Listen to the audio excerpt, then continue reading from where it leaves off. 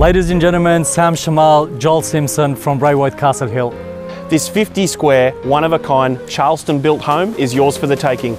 Ladies and gentlemen, welcome home.